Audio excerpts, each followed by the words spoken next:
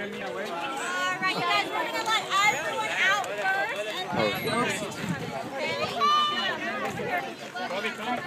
So let me have you all get line right over here, okay? Over here.